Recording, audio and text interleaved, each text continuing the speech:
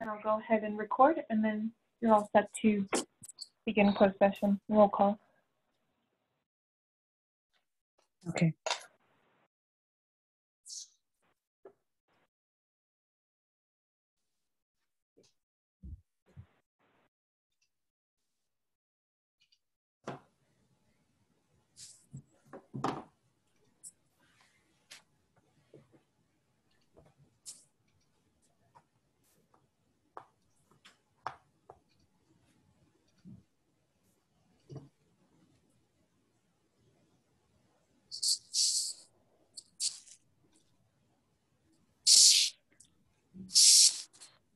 Amanda,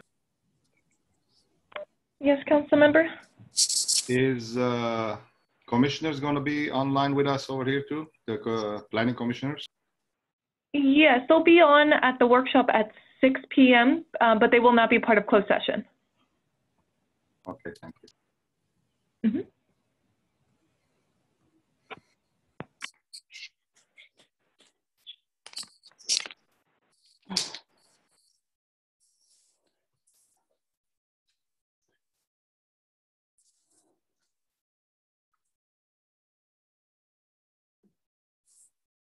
Mm-hmm.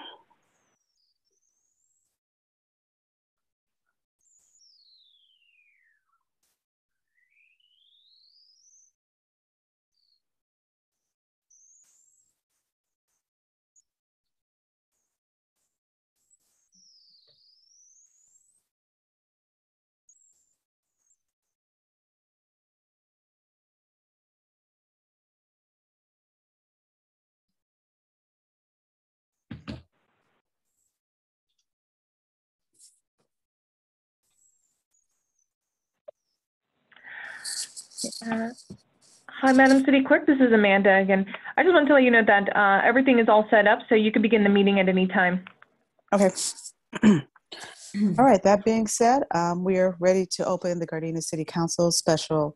Um, I'm sorry, we're ready to open up the meeting right now uh, for Wednesday, March 31st, 2021. Madam City Clerk, will you call the roll, please?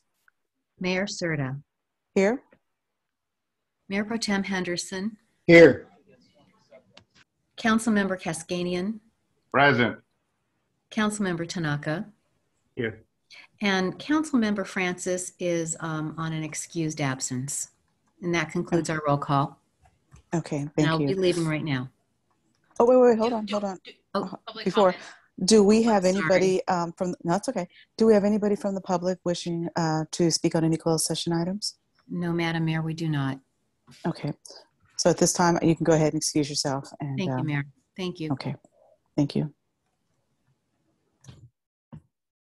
So we will now log off this application and go into the Teams uh, information that Becky sent you in the same email.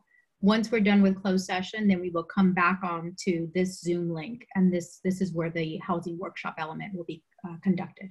Correct. Okay. All right, everybody log off. Thanks.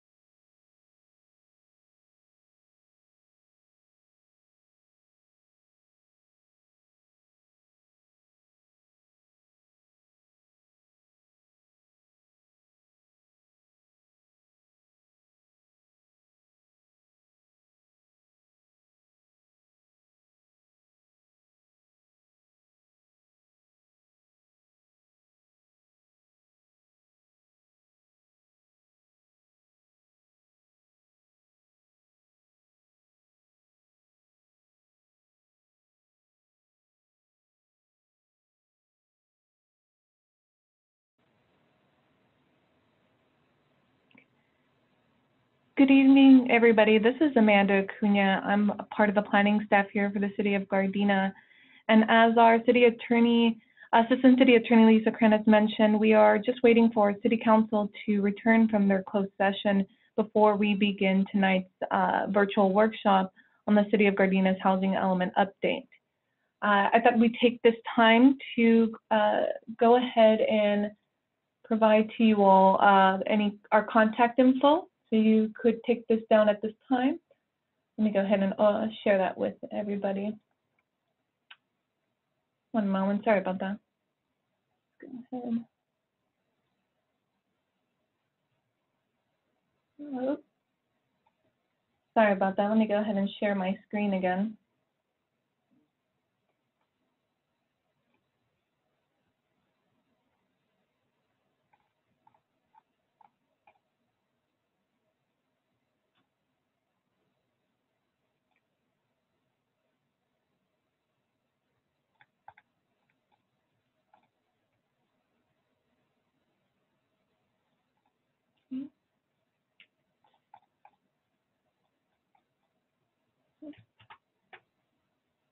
Okay. Let me try this one more time.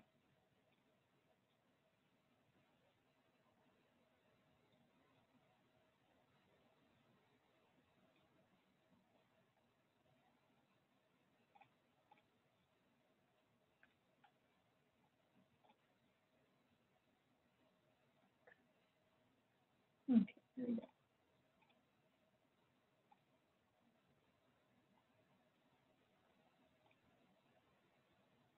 Okay, there we go. Sorry for the delay there. Uh, so uh, that is my direct email and our planning line here. Uh, if you would like further information or any other notices um, in in regards to our housing element update process, as well, you can find information on our city's website, cityofgardena.org slash housing dash element backslash. Uh, and again, if any uh, you could feel free to email me directly or feel free to give us a call during uh, uh, City Hall hours. And hopefully City Council will be joining us back from closed session and momentarily. Thank you.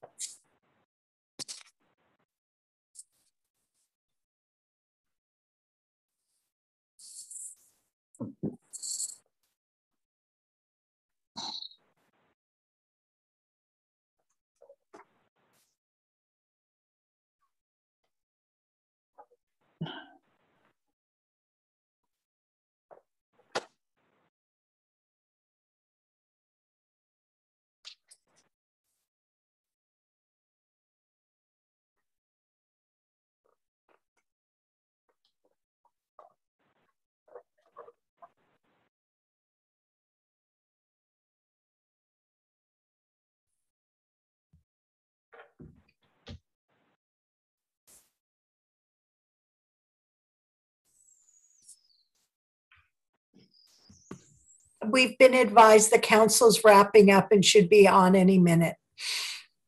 Lisa, um, this is uh, Tasha Cerda. I'm here. Oh, okay, great.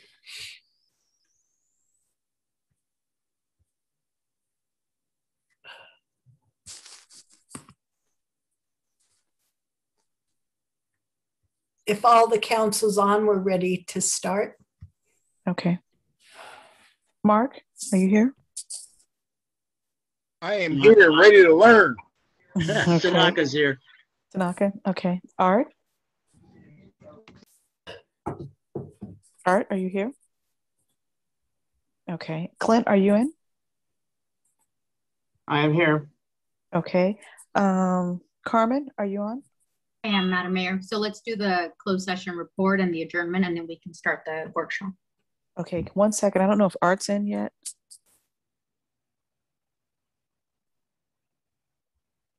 Art, um, if you're on, let's see. I don't see. I'm I here. don't see. his- Okay, you're here. Okay. All right. Okay, I think we have everybody here, and um, we have now returned from a closed session. Uh, Madam City Clerk, will you call the roll again, please? Yes, Madam Mayor.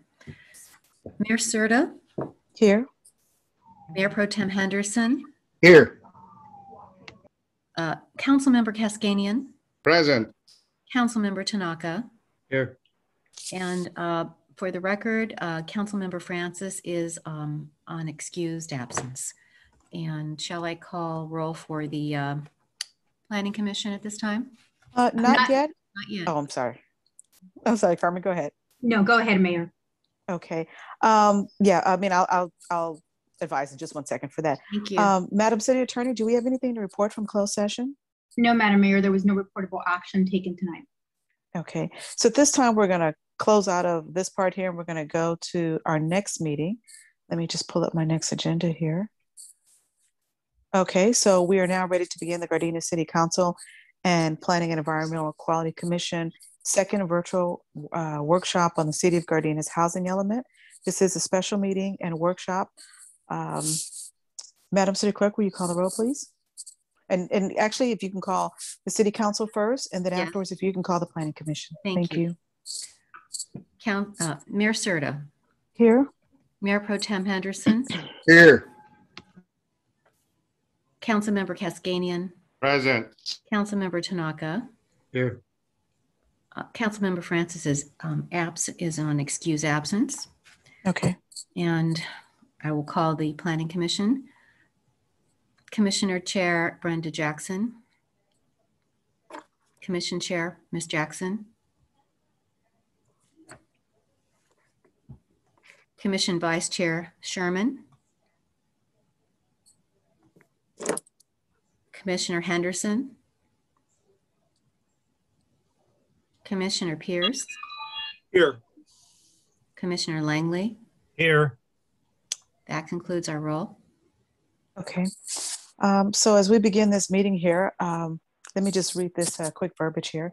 In order to minimize the spread of the COVID-19 virus, Governor Newsom has issued executive orders that temporarily suspends requirement of the Brown Act. Please be advised that the council chambers are closed to the public and that some or all of the Gardena City Council members and planning commissioners may be attending this meeting telephonically. If you would like to participate in the meeting, you can participate via the following options. The first way to participate is during the meeting via Zoom. Join the Zoom meeting via the internet or via phone conference. The direct URL is https semicolon forward slash forward slash us 02web dot com dot us forward slash j forward slash 86322 530 568. The meeting ID number is 863 2253 0568. The telephone number is area code 669 900 9128. And the, um, if you wish to speak live on a, spec- a specific agenda item during the meeting, you may use the raise your hand feature during the item you wish to speak on.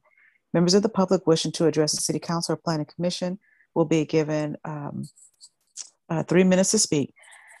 And uh, the City of Gardena thanks you in advance for helping us take all the precautions to prevent the spreading of the COVID 19 virus. So at this time, I am going to uh, turn the meeting over to um, Greg um, Greg McLean, who is our uh, interim uh, director.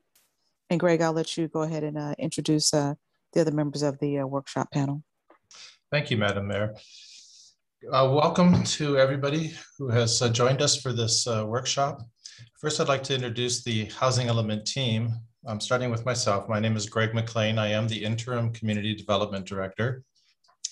Um, the next is the Senior Planner for this is Amanda Acuna. And we also have on the line with us today, Brian Ramirez. He's our intern, works on this project. And Lisa Kranitz is the Assistant City Attorney who is assisting us on this and all other matters related to the general plan and other um, important matters for the city. Not with us tonight, but with us on the, in the last work, uh, workshop was uh, Veronica Tam of Veronica Tam and Associates. She's our housing consultant her uh, major tasks are to come right after this workshop. Also, Starla Barker of De Novo Planning Group is working on the environmental aspects of this, and her uh, assistant is Amanda Tropiano. The next slide, please.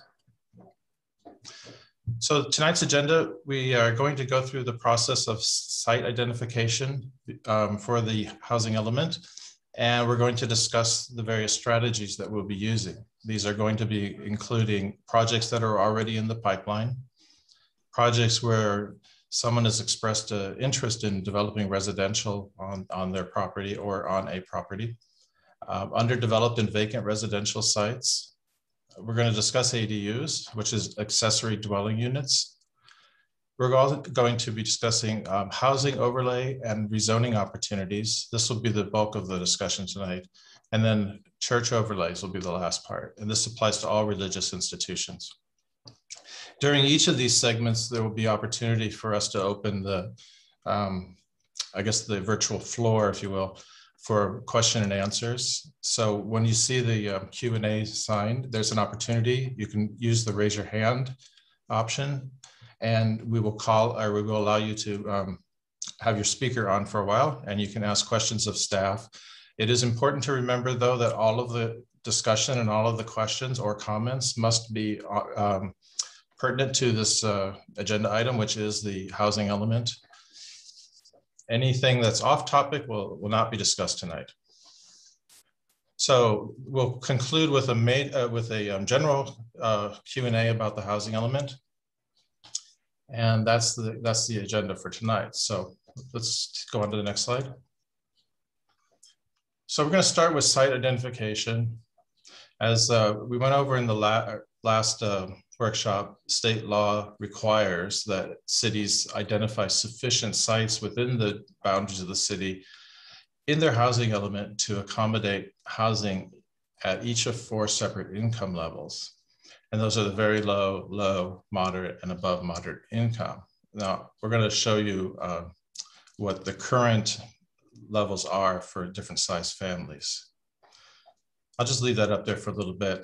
Um, the income levels are dependent on family size. So you'll see that looking at, for example, the bottom row is moderate income. If you're a three person family or household, um, and you make less than $83,500, then you're considered a, a, moderate income. But if you make less than 81,100, you'll be low income and so on. But if you have another child, say, then the threshold rises to 92,750. So that's the, those are the thresholds we'll be dealing with. Um, let's see, uh, let's uh, go to the next one. Okay, for the site qualifications, um, for very low and for low income housing, the zoning must be able to accommodate 30 units per acre. And for affordable sites, uh, they cannot be smaller than a half acre, and they also cannot be larger than 10 acres. So this is stuff that I believe was covered in the last workshop. It's sort of the overview, the catching up uh, where we left off. All right. So now to go over RHNA numbers for Gardena. Now RHNA stands for Regional Housing Needs Assessment. These are the numbers that are passed down from the state through the, um, the, the uh, SCAG, which is the uh, Council of the Governments for this area. They parcel out the, the allocation for Southern California to all of the cities in this district. And Gardena's number is 5,735, which means that Gardena needs to accommodate at least 5,735 units in the general plan housing element for the next round. And they have to be divided up according to this chart. But you have to really come up with a bit more because sometimes things don't go as planned and somebody will put like a uh, McDonald's on a site that you were hoping was going to be low income. So you kind of have to have a, a buffer in there too. We're, we're proposing to aim for a 20% buffer on the very low and the low income sites. So this shows you what the allocation is for Gardena. It's 1,485 for very low, 761 for low, 894 units for moderate, 2,595 for above moderate. So that's how we get the total. We're showing the buffer. So our goal for this exercise is 6,184 units identified in the housing element. I probably should remind everyone, it doesn't mean that we're going to see all of these built. We're not responsible to build them. We're just responsible to have them identified in our housing element. They have to be realistic and they have to be, they have to basically pass the smell test of the, the state's uh, housing community development department. So they have to be realistic and, and probable, but we don't have to build them. Most of them will, over the course of the next eight years, uh, probably not be built, but a great deal of them will be. Okay, next. So let's, uh, let's start going through um, each of the different strategies. First of all, we're going to talk about sites in the pipeline. These are projects that we're going to be able to count because they're going to come online. In other words, they're going to be occupied by residents after the new housing cycle starts. And these are already approved. So we have uh, four of them up here. So upper left corner, we have the Olson Company. That's uh, going to bring 50 units. Upper right, we have uh, Malia. The, I think, are we calling that Monet? I wasn't here when this one started. Um, 84 units. I believe that's Moneta Oh, for well, Moneta Nursery, and it was a typo. we're missing an A. Okay. That makes sense. Um, lower right corner, Normandy Courtyard, that's nine units. So that you can see there's a great variety of different size projects. They all contribute in some way. Uh, Walnut Place is 52 units. So altogether, these four projects represent 195. So that's, that's a good step in the right direction we have um, on the next slide, we have um, these are new projects that are pending approval. These are um, in the pipeline, meaning that they've already submitted their requests for approval.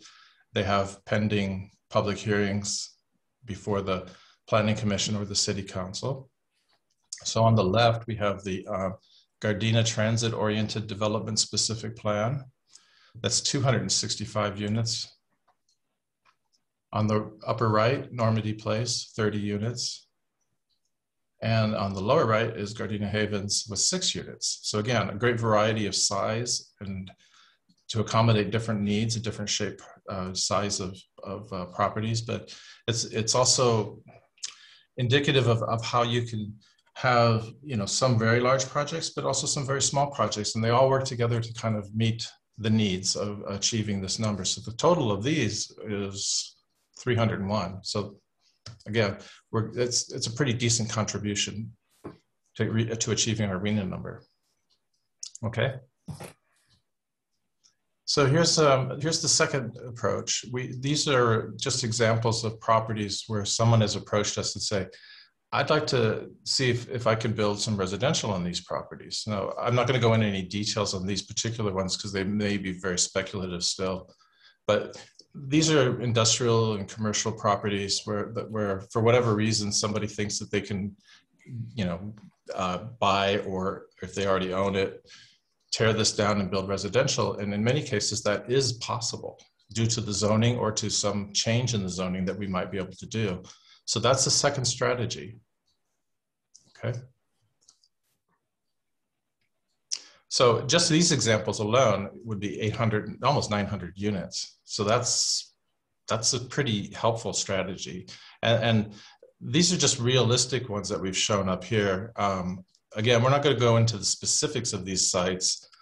They may not really pan out, but but these kind of things come to us quite frequently. Okay, next slide.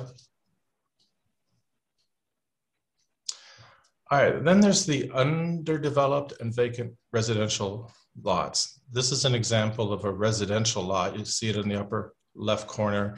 And then after it was built in the lower left corner, um, this is a real example of a vacant lot being developed into three units.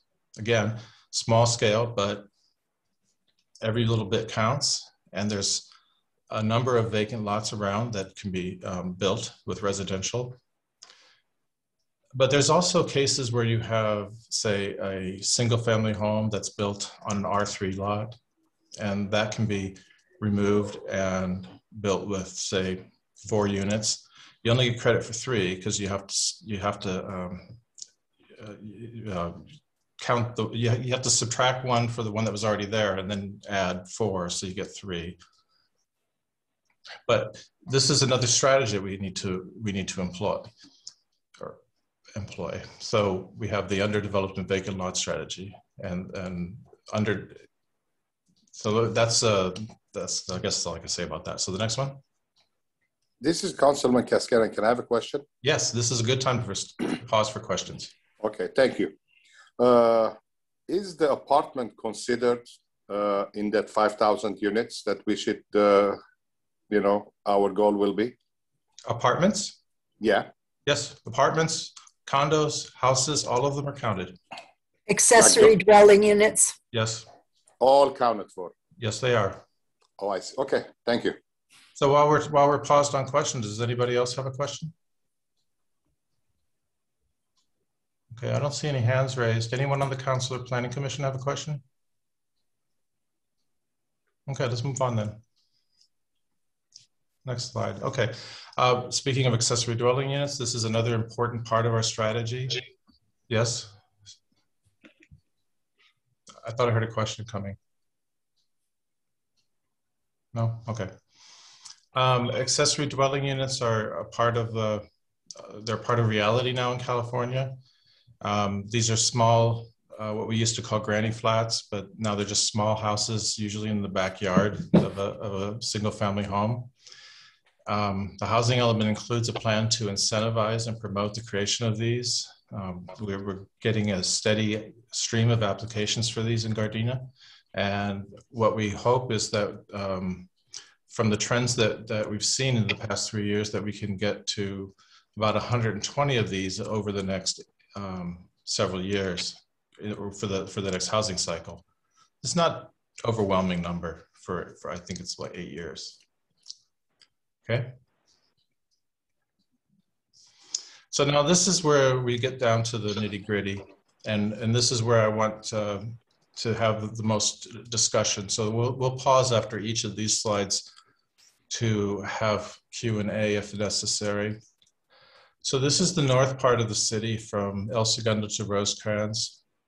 And we've identified a number of places here where we think that we can either rezone to a residential zone where it's not, or we can put an overlay which won't change the zone underneath, but will allow for residential to also be there.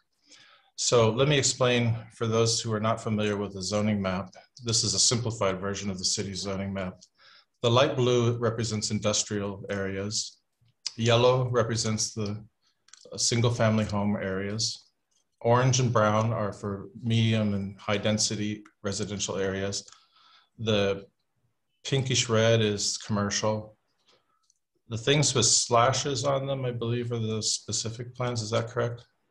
Can somebody help me with that? That's the mixed use overlay zones. Okay. Those are the zones where residential is already allowed by right um, at basically 25 to 30 units per acre. Okay, thank you, Lisa. And lastly, the green, of course, is uh, what we call open space, but it's usually going to be schools or parks or looks like some of it might be the Dominguez channel or something like that. Uh, or not, maybe not that one, but the channel that leads to it. So that gives you the basic rundown. So at the top is El Segundo Boulevard. The bottom is Rosecrans. And this is the entire width of the city from Crenshaw to, what is that one over there? Vermont. Vermont, thank you. So I hope everybody who's familiar with this part of the city can identify which parts we've, we've, we've picked out here and flagged. The ones that are in blue are designated as potentially being 50 to 70 dwelling units per acre. The red ones are 30 to 50 dwelling units per acre. And the ones that are in the brown or tan are 23 to 30 units per acre. And there is one that looks like it's uh, 17 dwelling units per acre. So at this point, I will open it up for questions. If anybody has any specific questions about these sites, this would be a good time. The, um, the, the um, team that worked on selecting these will be available to, you know, either justify or explain anything. And if not, we'll go to the next part of the city. Greg, I have a question, Councilman Kaskanian. Yes. Uh, our goal is uh, 5,000, uh, you know, residential units. I mean, there is no way for us to hit the 5,000, right? I, Well, not exactly so. We, we the, the goal is actually 6,000 because remember we have to put that buffer in.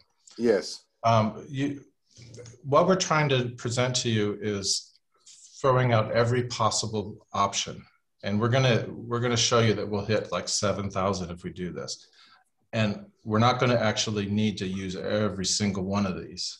So when we get down to the nitty gritty part of it in the next couple of months, when we're at the planning commission and then when we when we're at the city council, we'll have whittled down some of these and maybe taken out a bunch of them to get it down to about 6,000 and 100 or so. Um, these are just, we're throwing it all out there right now. I So mean, this will get us over, over our number. I know, but it's going to be ridiculously congested city, in my opinion, if we put 6,000 people or 6,000 units, I'm sorry, in the city. And uh, I mean, I don't know. Uh, how are we going to do this? I have no idea. Ca- Councilmember Kaskanian, this is Lisa Kranitz, the Assistant Yes. City Attorney. I think as Greg indicated early on, it's very unlikely that we will actually get development of 5,735 units. Um, Our last housing element numbers were 397 total units. And except for the above moderate level, we didn't even meet those low numbers. But as Greg's indicated, state law requires us to identify sites where this housing can um, be placed and then change the zoning to match what the housing element states. That's one of the reasons we are looking at overlay zones. If nothing comes in in housing, we still want the commercial and industrial to be able to continue an operation as a legal use. I see. I, I, I hear you, Lisa. I know, but uh, uh, if we if we uh, pinpoint the properties and say, okay, we can build here, we can build there, and then the the house, you know, the housing authority is going to sa- come and say, oh, so you guys can build it then, you know. So and then the city is just going to be like the China. You know, I've been in China and I see this high-rise building, like 60, 70, and there is like a few hundred of them next to each other. So, I mean, I don't want the city to be like that. I don't know. That's my opinion. So, Well, thank you, thank you, Councilman. Um, what we're trying to do today is, is meet our legal obligation, but I, I do understand what you're saying. I, I, I think it's safe to say that we're not going to ever see this many units built. But the other thing is, um, there is not going to be any authority that says you have to build the housing there. And these are all still privately owned properties, and the owners are not obligated to build anything other than what they have. So, the, to some extent, the markets may convince a few people, but not everyone will necessarily feel compelled to build residential. I see. Okay, thank you. Do we have any other questions from the council or from the planning commission or from the public? Um, this is a good time because this is we're we're actually zeroing in on a certain part of the city, and um, so if you live in this part of the city, or if you you know have an interest or work in this part of the city, this is a really good time to to um, address your concerns. Well, I'm sure people are going to enjoy having housing though, because a lot of that's uh, commercial industrial.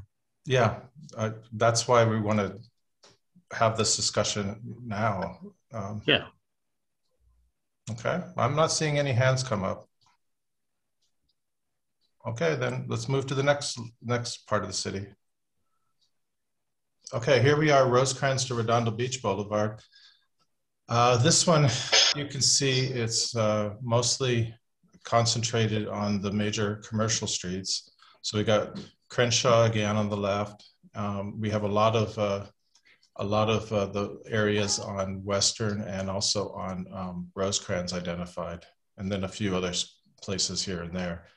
Um, most of it is is in the 30 to 50 uh, dwelling units per acre area. On the on the western side of the city, it's just like in the upper the upper part that we saw earlier. It's 50 to 70 dwelling units to the acre. This one's pretty straightforward. Um, do we have any questions about this?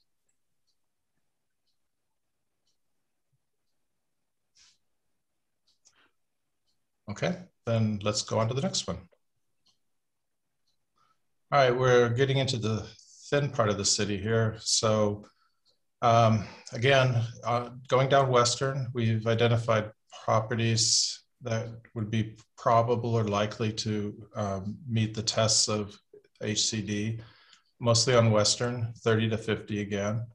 There's um, some properties over on, on um, uh, Redondo Beach Boulevard and a little bit south of that that are also identified. Now these these may be all of these may be rezoned or they may be overlays. And then there's a one down there. I, I don't know what street that is, but it's 50 to 70. This one, incidentally, someone has approached us to do a, a specific plan. So this one may go a different direction. This Um, is Normandie Avenue, Craig. this is- that's Normandie. Thank you. I should know that. I took that one in today. Um, Lisa, what's the cross street on that one? Oh, boy. Um, it's not, it's like right across, if you see the, the red hash marks to the east, that's the Normandie Estates specific plan area. Um, It's So on it's Normandie and 178. 169. Okay, thank you. 169 to 178. Correct. Yes, thank There's a- you. By the liquor store.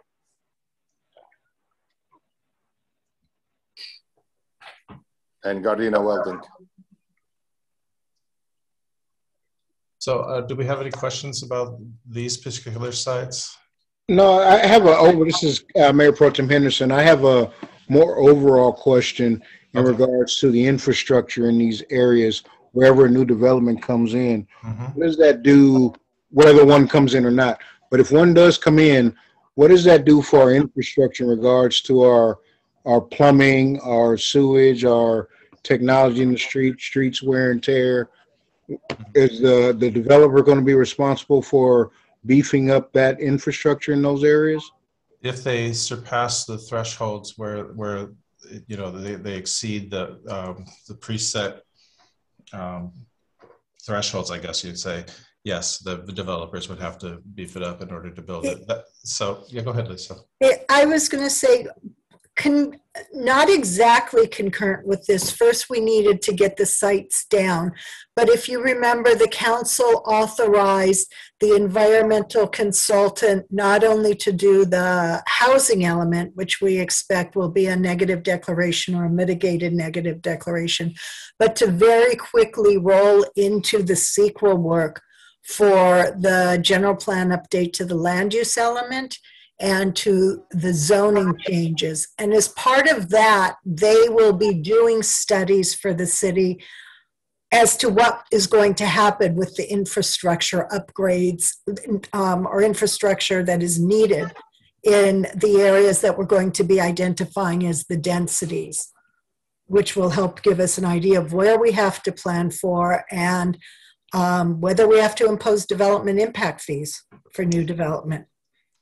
That's, that's probably where this will end up. Um, With regard to sewers, water, electricity, if there's any deficiencies, the developers generally are required to make the upgrades. And that's not just to their property, but it may extend to, to the trunk lines or wherever the source is, is um, weak. Right, so here's a second part of that is in those areas, if they do have that impact, can we uh, make the requirement that all utilities be underground? Well, generally, that should be, always be the requirement for utilities running into the property. Um, The tricky part is uh, utilities that are on the street are not on their property, and we won't be able to make that a condition. But when the utilities run from the street into the property, you can, you can make that a condition, yes. Okay, thank you. Okay, are there any other questions on this one?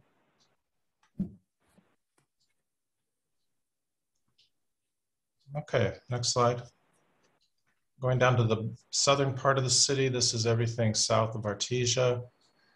Um, I don't think I need to explain what's going on. Same, same procedure.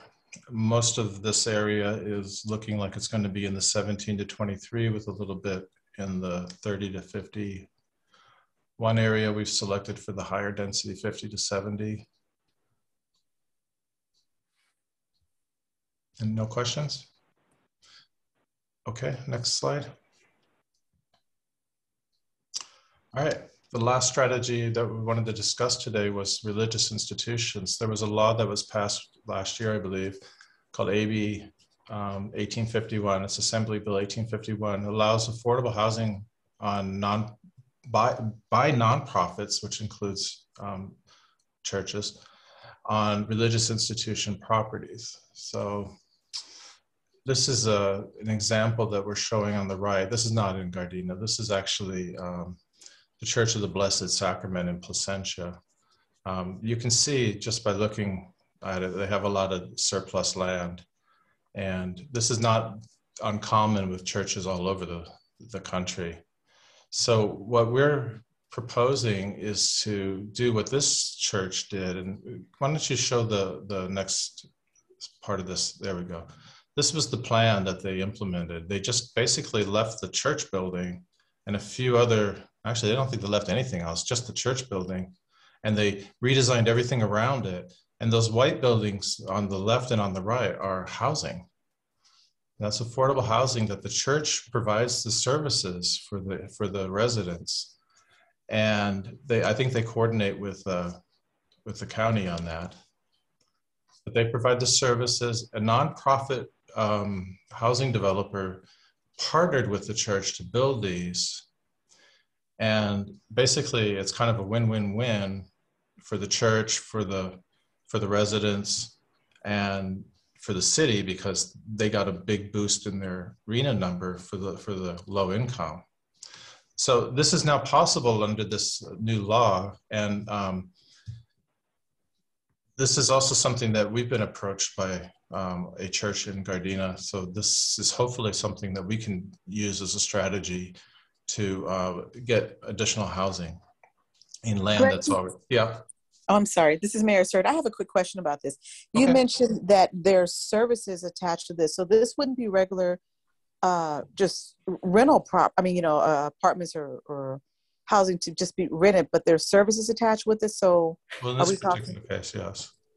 okay, but I'm saying in most of these situations with religious institutions, is it a service attached to the component of it, or? Well, it doesn't need to be, but in most cases it is because the churches that do this sort of thing see it as sort of a mission to provide, um, you know, housing for homeless or for people who have, um, you know, a hard time, you know, spousal abuse or something like that. So they want to provide services as well because that's considered part of their mission. So it fits into their their overall, you know, um, I don't want to keep using the word mission overuse it, but that's that's why they do this. Um, it's not mandatory though, but that's why Okay, so we could be looking at shelters and things like that, correct? It, operates very differently. There's a there's a strong philosophy among a lot of these uh, ins- these nonprofit institutions that the number one priority is to get people settled and get them secure in their housing because until that's done, nothing else is is really going to um, take. So the shelters are a temporary solution. They they're they're they're important and they're great, but if you really want to get somebody stable, um, this is this is the way to do it. You get them into housing and they're they're they're secure. They're there for long term, and then they start providing all the services that they need to get back into the job uh, marketplace and to get back, you know, the basic things like get a bank account and and you know get a, a PO box or at least have an address for mail and reestablish, you know, all the things that people take for credit. I mean, for for granted. I mean, so Okay. that's that's the philosophy these institutions will be following. Now, different churches or different religious institutions may take an entirely different approach. But that's the example of this particular one. Okay, so I have another question as it relates to this. Sure. So let's just say they take they, they have facilities, um, people trying to get them off the street, and Mhm. maybe um, I, I guess I've seen uh, organizations like this where maybe um, the people they're they're acting out and so on, and you know we try to put some requirements on them as far as saying you know this can't spill out to you know the neighborhood it just has to stay within because they're a religious institution are they like untouchable like they can do whatever they want in there because you know they're helping people or you kind of see where i'm going with this Yeah, but this is not this is not like um, transitional housing. This is actual housing. So these these Okay. are um, rental units. They have leases. Um, I think that saying that they're going to be providing services is is a little bit misleading because uh, that's not the main thing. The housing is the main thing. So they're going to be careful who they're leasing to. I mean, they don't want bad tenants. They're, they're landlords above all else, but they're also looking to help people.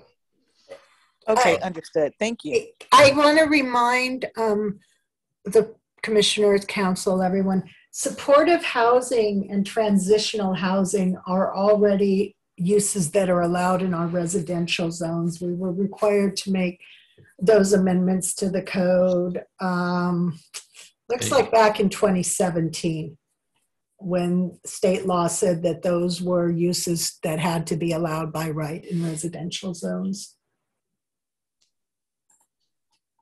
So it's, I don't think it's something to be that worried about because it's already allowed in um, the residential zones and we haven't seen any kind of influx of that. okay okay thank you for the clarification Yeah, but those are very good questions. Um, as far as this goes, the strategy that the city is hoping to use is to use a um, an overlay zone for the, the religious uh, institutional sites or the church sites or the or the temple sites or whatever the mosque sites that are in commercial and, and industrial zones, just so that they can enjoy the the benefit of this without any further um, hurdles or hindrances or the need to do a, a, you know a zone change. Or anything. a lot of them are already in residential zones and so they're good to go. But we would identify them all and then and you know they would be identified in the in the housing element as one of our strategies. Now this is entirely voluntary any church could do this but any church could also just opt not to not do this okay next We'll have a quick question about this uh, religious institutions, though. Uh, This Okay. is Councilman Tanaka. Mhm. So this Placentia uh, Church of the Blessed Sacrament, it, it's pretty big. So we have we have churches in our city that are kind of small. So in, instead of housing, would they be able to put up ADUs on their property? Yeah, they, that, I mean, small houses, yeah, there's no, um, there's no minimum. Now, there wouldn't be ADUs per se, but they could do smaller, smaller units.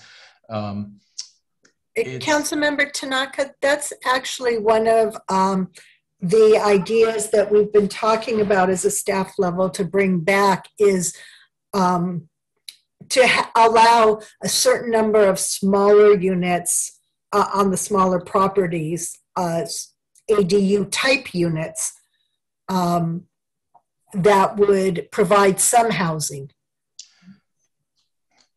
there. Uh, we we've actually had some at a staff level some meetings with uh, two different religious groups or nonprofits that support this type of housing, and that was what they've indicated that some of the other cities are doing in the na- in the area in Southern California to allow smaller type units be placed on smaller church properties. Because as Greg says, every unit helps, especially when we're at the affordable level, where we've had no affordable housing developed in um, the past five years. So, and then in response to Mayor Cerda talking about transitional housing. So I worked at the mission for 12 years and we put people in transitional housing and they had to pay rent and they had to do a lot of stuff. So there actually isn't anything that says that you can't put a transitional person in one of these properties on the church. Is that correct? That's correct. I just think that the uh, the impetus behind this is a little bit different. Well, but, it, but it's but it's you're right. It's not necessarily um, required that this can't be used for transitional housing. But right, yeah. But going back to your earlier question about ADUs, um, Yes. we saw a presentation where the city of, of Riverside there was a church that had a smaller bit of land, actually quite a small piece of surplus land, and they put what looked like four tiny ADUs on there, and that worked out really quite nice for them. Okay, So sometimes it works.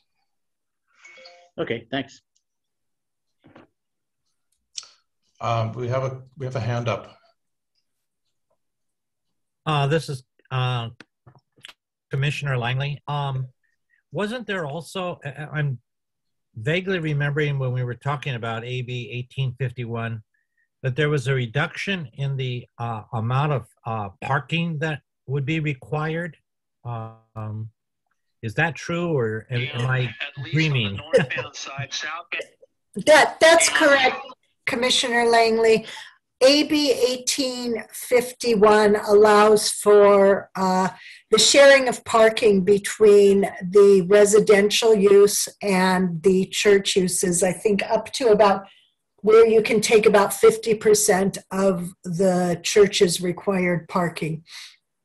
You still need to have required parking for um, the housing, but again, usually affordable housing has a much lower parking requirement than market rate housing. These are people who have zero to no, you know, to maybe one vehicle. So, um, um, a church that has no excess land like this beautiful one that we're looking at, Mhm. um, but is totally, you know, um, I, I can think of many churches in Gardena. They could uh, reapply for less parking or shared parking so they could do this. In theory, they could apply to build, um, if they had no surplus, you know, grassland or whatever on the parking lot, sure. But if they're using that every Sunday, they probably wouldn't want to do that. But we have churches where their where their congregation has dropped to the point where they couldn't fill the parking lot even on Easter Sunday, and they're looking at this very seriously as a way of uh, preserving the church. Uh, Greg, I have a question. Sure. So going to Commissioner Langley's uh, question, if the church wanted to build, are we going to allow it to build it, even though they're going to take out of their parking spaces? Well, the law says we have to. Oh man, come on. Where are they going to park the people then? On the streets? Well, AB eighteen fifty-one requires us to, to do this. It Oh doesn't my allow God. for parking.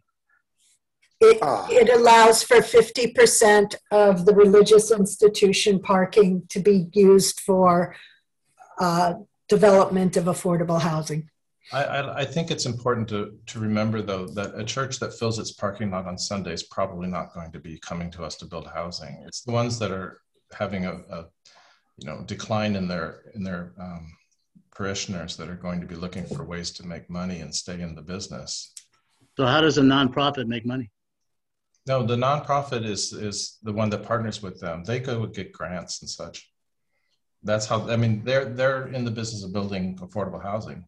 They don't make money. They they just break even basically. Oh, Come on, if there is a dollar sign at the end, believe me, they'll find a way. No, that's not how they operate. They um, they may make enough to pay their staff, and that's what they're trying. They're trying to provide housing. But uh, uh, uh, Commissioner Langley again. But a church could create its own nonprofit to do this, couldn't it? No, no, that's not. Uh, I don't think that's. Um, It, it could probably set, create some separate um, entity. But i in fact, churches are as, as has been pointed out to us by the two different groups we've sat down with, churches aren't developers. Right. They don't know how to go out and get the grants. They don't know how to work with the cities. Um, they don't know how to develop plans. And that's why there's this symbiotic relationship that is developing between the churches, and I want to say by churches, we're, we all mean religious institutions. We're just using that shortcut.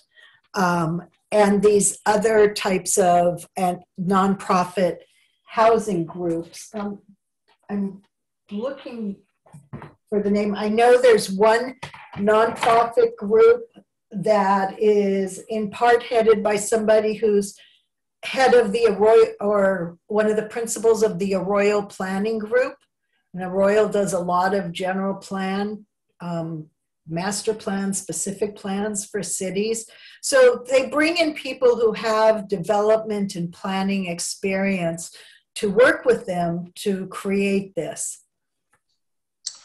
The reason I answered your question, um, Commissioner Langley, with a no is because there's almost no possibility that a church forming a nonprofit developer would have a chance of getting any of the necessary grants or loans that would be needed to build anything. They have no track record. They they wouldn't even qualify for a construction loan. It's, I was giving more of a realistic assessment. But one of the nonprofit groups is called Making Housing and Community Happen. And um, I think they, those are one of the groups who has made presentations. And again, they bring in the urban design planning to the churches. Yeah, there was a Asian guy that uh, is nonprofit building uh, low income, and he was on that uh, last uh, Zoom thing that we had for the for the COG. It might be the same person we saw, Lisa. It, it could be, Probably Yeah. He's doing a lot of units. Yeah, and he's doing that mostly pro bono too. Yes. Yeah. Okay, are there any other questions? Okay, great. Let's move on then. Okay, um, this is just a, sort of a broader view. Trying to identify all, all of the churches um, that could possibly be, interested. Um, and I, again, I'm, we're not excluding um, temples and shrines and, and mosques or, or anything. We're just using church as a shorthand.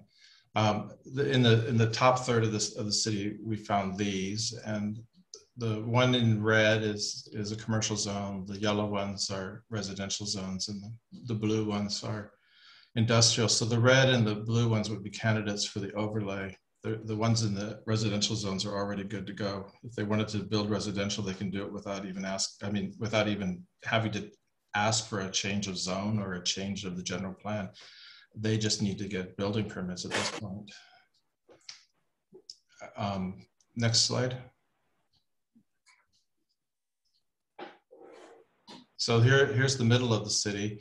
Uh, there's nothing behind the, the legend there to see. Uh, but everything in this part is either commercial or residential. So overlay would be applied to the pink ones and the other ones are, are already in residential. And then the last slide, same thing. So that just gives you a, perspective on how many churches we were able to identify. Um, there's, there's very likely to be some more um, that we didn't find, but they'll, but we'll, we'll be scouring through the, I almost said yellow pages, but I'm just dating myself. but we'll be looking hard to find any others so we can put them in this uh, housing element update. Okay, next. Yeah, there's a map where we put them all in there at once. Just to give you an idea how many we found. I mean, like I said, that's probably not all of them, but that's that's a pretty good number. But that's um, that's the extent of where we think we can um, put the overlay or or possibly see some development on on institutional properties. Any uh, any questions at this point? Okay, next slide. All right, so this is sort of a summary. Um, obviously, the number is huge. It's much more than we need. So what we would be doing is we would um, not offer up everything. We would be scaling back where we can just to try to get, hit the number plus the buffer and not much more. But we'll keep the rest of them in the back pocket just in case uh, HCD rejects a, a, lot of them, which is a high probability. They're they're good at nitpicking all the sites that cities uh, submit, so then we'll have backups to, to throw in there. Um, but a lot of that will be done in public hearings with the Planning Commission and City Council in the near future. So, uh, but we'll we'll be weeding through it first, so that we don't have to spend like 12 hours in meetings doing this in public. We'll be weeding through it with our um, housing element consultant because she's very good at, at knowing what they're looking for in the state. And so she'll be doing the first uh, culling of the, of the sites. But you can see that we're, by the looks of it, we're probably over nine, no, we're probably at 10,000 almost, maybe 9,000 something. So we have a lot of, uh, a lot of work ahead of us still. Okay, next slide. Oh, any questions? Okay, next slide. Um, if anybody um, was curious about affordable housing in general in Gardena, this is a project that was uh, already built. This is um, recent experience. I wasn't here for this, of course, but if anybody, um, well, Lisa, you were probably the most familiar with it. Why don't you describe what's going on here? This is the Spring Park senior affordable housing project. I believe it was city land that it was built on because it is, um, well, I think because that's the way it would have worked out financially. Um, it is 59 units to the acre. And while the site plan is kind of small, it um, on the lower right hand corner, it does have a lot of amenities. And I think they do provide services for the seniors right on site. And it, we just put that in there because I think sometimes when people think affordable housing, they think of basically cement buildings that are, you know, no reliefs, no um, Amanda, what's the what's the word I'm looking for when there's the different textures and depths of the building? Um, but the projects, the the projects, in fact, can be attractive. And we just want to point out that we already do have this in Gardena at a density of 59 units. So it won't look like a compound. It's the, there's thank you. That's the word. That's the word I was looking for. And, yeah. and I think part of what we have to do for our next step, and one of the reasons why I had urged we move straight into starting the zoning after we get you know housing element done, or while we're doing it, is we need to come up with the development regulations that will make sure we get attractive projects to make sure that we have setbacks that will not be so excessive that it would prohibit the housing, but that we put in that it has to be, you know, have some sort of interest or we'll come up with the objective standards reliefs. That's more of the planners than me coming up with it right now. I think that's very important. If you if you don't do that, you do run the risk of somebody taking advantage and building a, a concrete box with holes, and that's not what I think anybody wants to see. Um, Lisa, how many units are in this project? Do you know? I think it's 37. It's on about 0.6 acres. Okay. So 37 doesn't look like that much. That's good. And this one is on El Segundo and Wilton Place. I remember this project. I was the commissioner then. Yes, correct. That's exactly where it is. And this property right now, and I can't remember if we rezoned it to that, um, is a fish or open space official zoning because senior affordable housing is allowed in that zone.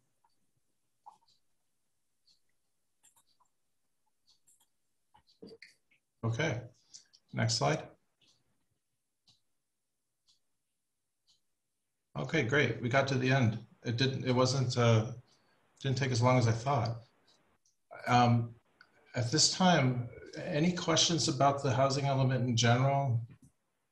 Or the, the, the six strategies that we've outlined? Or any comments or?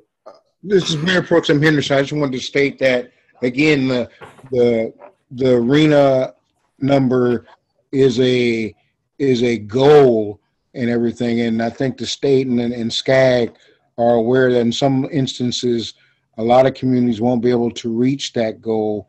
But this is our proposed plan because we have to submit a plan to how we would achieve the goal.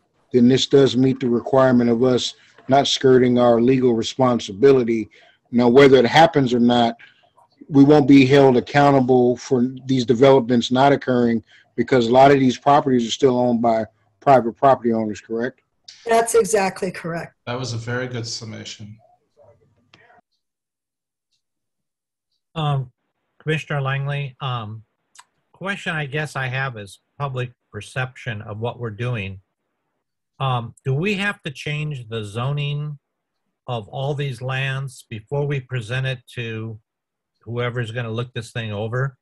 And if No. so, um, I can see a lot of people upset with their property, their private property. All of a sudden, they can't do what they thought they could do on their own property when they bought it. So, Yeah. what, what, how the overlay has something to do with this, right? Right, Commissioner Greg, if I may. Please. Um, Commissioner Langley, what we do first is we identify the sites in our housing element. And the housing element is required to identify where the affordables, where, where the very low, low, moderates can be built. Um, a- and I don't want to mislead the council or commission or public because Greg and I very carefully looked at the law and once it's identified in the housing element for affordable, then regardless of what the zoning or land use is, we have to allow affordable housing to be built there at the level that was identified.